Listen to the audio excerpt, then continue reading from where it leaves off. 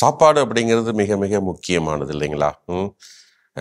ஒரு எந்த ஒரு திருமணம் போன்ற முக்கியமான நிகழ்வுகளில் எவ்வளோ ஆடம்பரமாக இருந்தாலும் உணவு வச்சு தான் எல்லாமே மையப்படுத்தி சொல்லப்படுகிறது. சாப்பாடு சூப்பர்ப்பா. சாப்பாடு அந்த அளவுக்கு இல்லைப்பா. அதை வச்சு தான் கல்யாணம் எவ்வளோ நல்லா நடந்துச்சு அந்த விசேஷம் எப்படி நடந்துச்சு அப்படின்னு முடிவு பண்ணுவாங்க. அந்த அளவுக்கு உணவு.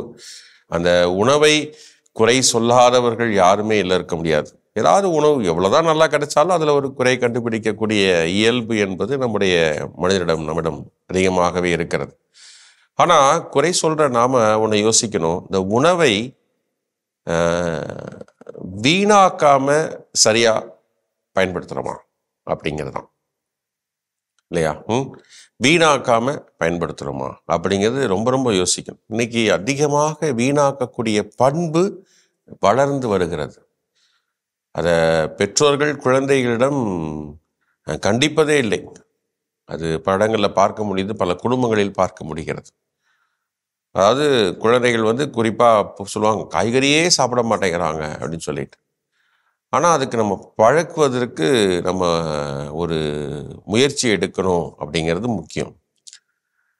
அதே போல் அந்த சாப்பாடை வந்து வீணாக்காமல் சாப்பிட பழகணும். எத்தனையோ பேர் எத்தனையோ பேர் சாப்பாடு இல்லாமல் எவ்வளோ கஷ்டப்படுறாங்க அப்படிங்கிறது நமக்கு நல்லாவே தெரியும். அதை சொல்லி சொல்லி நம்முடைய குழந்தைகளுக்கு ஊட்டி வளர்க்க வேண்டும். அதனால் நீ வேஸ்ட் பண்ணுற ஒவ்வொரு சாப்பாடுமே சொல்லுவாங்க. நீ சிந்துற ஒவ்வொரு சிந்தையும் அதாவது அரிசியில் சோறில் வந்து ஒவ்வொரு பருக்க நீ சிந்தும் பொழுதும் அதை சாத்தான் எடுத்து வச்சுக்குவான். அதெல்லாம் கணக்கு பண்ணி வச்சுக்குவான். அப்படிலாம் சொல்லுவாங்க எங்கள் வீட்டில் சின்ன வயசில்.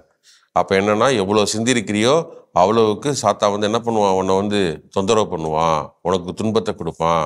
உன் நரகத்தில் போட்டுருவான் அப்படின்வாங்க ஐயையோ அப்படியா? அப்படின்னு சொல்லிட்டு நமக்கு இதெல்லாம் முன்னோர்கள் நமக்கு வந்து குழந்தைகளை சாப்பாடு வேஸ்ட் ஆக்கக்கூடாது அப்படிங்கிறதுக்காக சொல்லி வளர்ப்ப வளர்க்க முயற்சி செய்கிறார் இன்னைக்கு ஏதாவது ஒரு முயற்சி இல்லைங்களா? அதனால் சாப்பாடு நல்லா சாப்பிடணும். அது முக்கியம்தான்.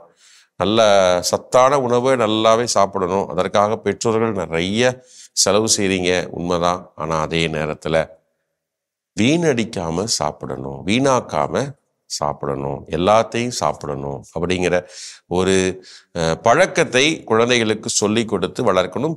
பெற்றோர்களும் பெரியவர்களும் அதை கடைபிடிக்கணும். அப்பதான் வந்து குழந்தைகளும் பார்த்து செய்வாங்க. சரிங்களா? ஆனால் இதை குறித்து ஆழமாக சிந்திக்க எத்தனையோ பேர் உணவு இல்லாமல் கஷ்டப்பட்டுட்டு இருக்கிறாங்க. நம்ம வந்து அந்த உணவு வந்து நம்ம பகிர்ந்து கொடுக்கணும். அந்த பகிர்ந்து கொடுக்குறோம் அது ஒரு பக்கம். நல்ல பண்பு. அடுத்து நம்ம சாப்பிட்ற சாப்பாடை வேஸ்ட் பண்ணக்கூடாது.